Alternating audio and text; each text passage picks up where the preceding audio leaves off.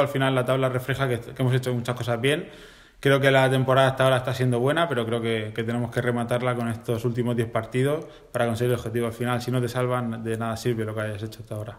Hasta ahora me estoy encontrando bien, me gustaría hacer las la valoraciones a final de temporada y ver hasta dónde hemos llegado y, y lo que hemos conseguido, pero hasta ahora me estoy encontrando bien, me estoy encontrando cómodo y con la confianza del míster, más no puedo pedir. Bueno, empieza la parte más importante de la temporada, donde se decide todo, todo abierto y bueno, creo que lo importante es que llegamos en, una buena dinámica, en un buen momento.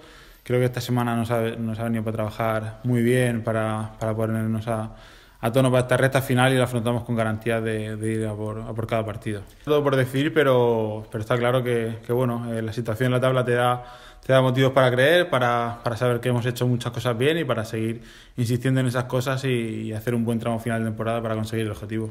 ¿Cuál crees que va a ser la clave? ¿Cuál, ¿Por qué crees que el Elche se va, se va a salvar, va a conseguir ese objetivo? Bueno, creo que, que el equipo ha, ha dado una. Se, se ve una mejoría notable, sobre, todo en cuanto a orden, que creo que va a ser, va a ser clave, sobre todo para enfrentamientos directos. Al final quedan muchos enfrentamientos directos en, en, una zona que está muy apretada y creo que, que el orden y la, la, solvencia que está teniendo el, equipo creo que va a ser clave para, para, afrontar cada partido, empezando por el Betis. El Betis está siendo de los mejores equipos en este 2021 y creo que no va, a ser un partido muy exigente porque el Betis creo que ahí nos superó, eh, creo que a nivel de fútbol estuvo por encima de nosotros y bueno, tenemos esas esa ganas de, de, resarcirnos de, ese, de aquel partido, de hacer las cosas bien y de, y de ponérselo nosotros también difícil al, al, Betis. Va a ser un partido muy difícil porque, porque viene muy bien, pero eh, jugamos en casa. Eh, hasta ahora hemos ganado los dos partidos con el, con el nuevo míster en casa y vamos a por ello, confiamos en, en poder ganar ese partido. Sobre todo tener la cabeza fría, saber que cada partido es un mundo que vendrán momentos difíciles dentro de ese tramo final y que tenemos que estar preparados para afrontarlo. Tenemos que hacer nosotros, que eso es la clave. Al final tenemos seis en casa y cuatro fuera.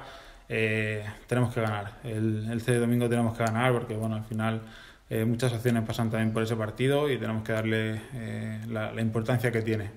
Qué pena que tenga que seguir siendo sin gente. Pues sí, se hablaba mucho de, de ya por estas fechas poder meter gente a los estadios, pero bueno, de momento no está, no está siendo posible, pero bueno, confiamos en que, en que con ellos o sin ellos consigamos el objetivo para que el año que viene puedan disfrutar de, una temporada completa en Primera División.